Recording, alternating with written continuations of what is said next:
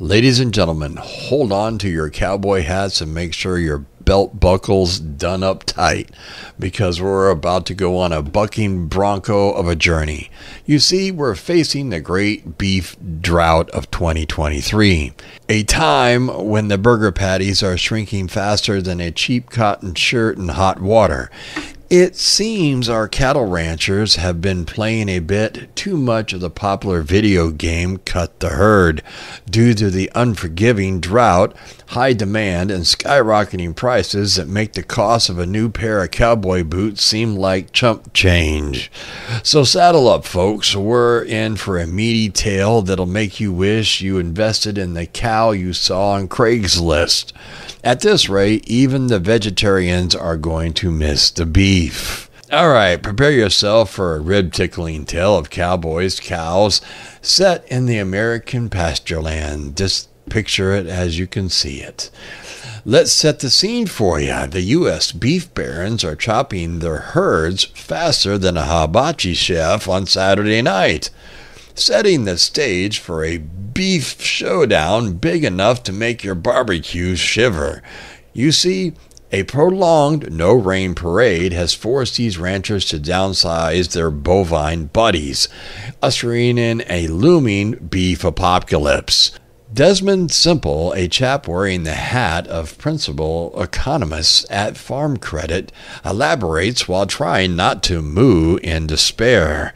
You'd think the wholesale cattle walk to the slaughterhouse would result in a beef price drop, but given our current climate of high demand and inflation, the opposite is happening. The price of your favorite steak is skyrocketing like a bovine on a space mission. I bet the cows didn't see that coming when they voted for inflation at the last barnyard election. You got me? Stuart Smith, an associated professor with the fancy title of agricultural bioresearch specialist, has a lot in one word, highlights that in 2022, farmers sold more cattle than a cowboy at a bovine beauty pageant. Sadly, they weren't just trying to become the new cattle king, but scrambled to feed their hungry herds. When it comes to filling the feed, though, the U.S. usually looks north, but last year Canada was wrestling with the same feed famine says Dennis Laycraft, U.S. Cattle Association VP and part time cowboy poet. The important route seems to be as clogged as a cowboy's arteries after a beef barbecue. But you see, the cattle producers aren't strangers to crisis.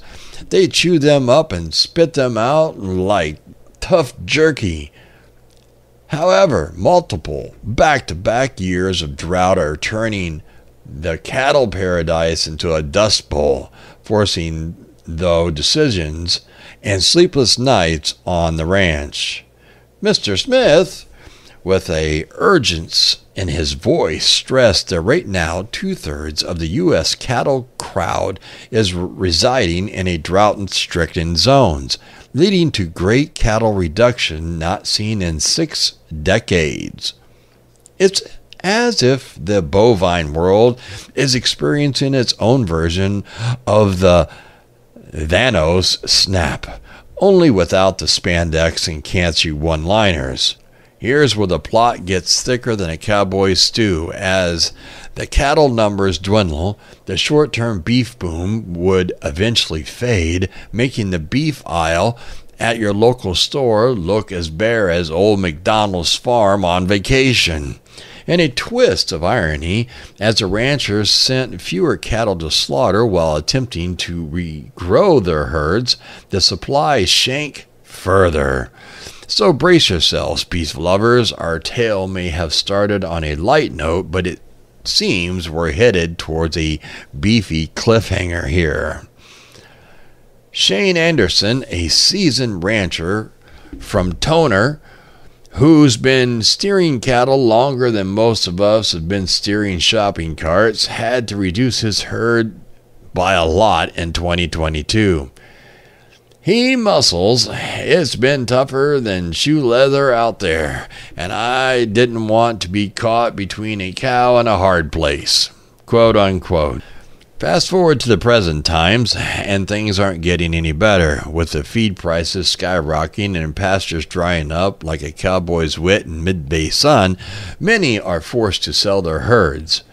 Ken Brandit, a cow care field specialist draws attention to the surging numbers of cows entering the moving sale.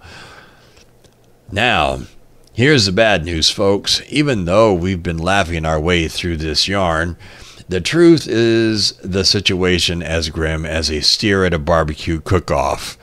This drought mixed with inflation is hitting the ranchers like a ton of hail bays. Unless Mother Nature decides to let the waterworks loose, we're heading for a beef shortage that'll make a veggie burger look appetizing.